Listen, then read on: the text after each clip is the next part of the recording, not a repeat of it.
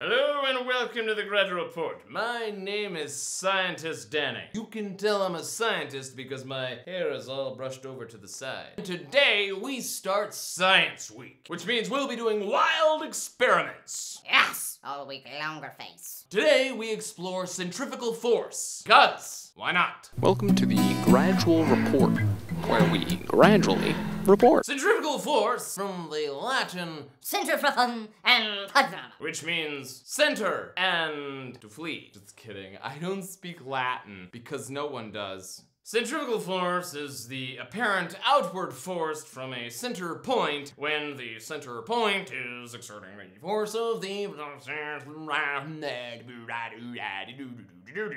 Type it into Google and it will bring up the Wikipedia page and it will tell you exactly what it is. I don't know how you don't know this. It is part of obviousness. The term is used in Newtonian mathematics sometimes to describe an observation from the inertial force, which is from outside the person looking at it, and from the non inertial frame of reference, which means you're sitting on the platform being the one who is being spun. What?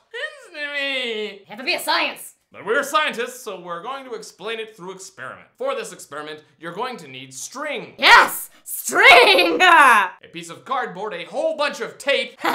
Tape. No, not that. No, stop it. No, we're not doing that this time. A flathead screwdriver, a pair of dull scissors, and of course, a latex glove. You'll also need a pear, which is a type of fruit. The final thing you'll need for this experiment is a very patient mother. Because let's face it, you're probably 30 something and still living at home, doing weird science experiments that you saw on the internet. And now, the experiment. Step one build the platform with all the things that you have. Step two eat the pear.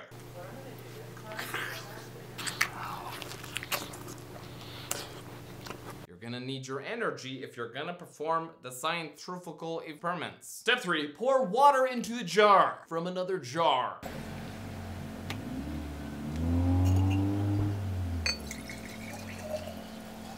Step four, cast a magic unicorn spell on the water. Pocusly pocusly, touch me. Touch me there again and I'll tell the police. Step five, behold magic and centrifugal force, keeping the jar and water on the platform while we spin it around.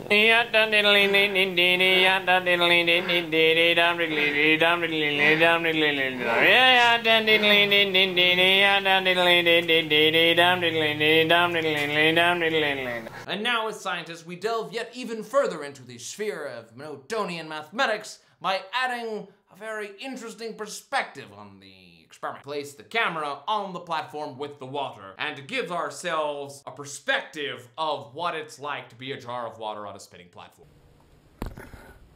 I'm placing both things on the outer extremities of the platform, which is kind of scary for me.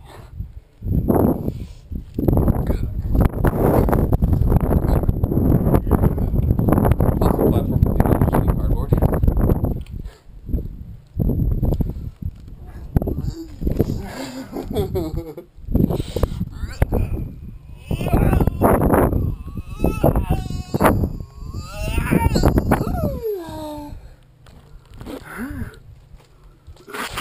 Final summation Science is the basis of all things magical. If the things that were magical are explained to us through science. I love you, my little lemon drops. Do join us every day this week when we conduct a mind blowing experiment. Also, hit up my Facebook page and like me because I like you. And be sure and leave a comment. Pound your fisticuffs into the old keyboard jillers so that the Google computer thinks you've been engaged. Maybe they'll help my ranking and maybe I'll get more views. Who the f knows? Okay, I love you. Blurred.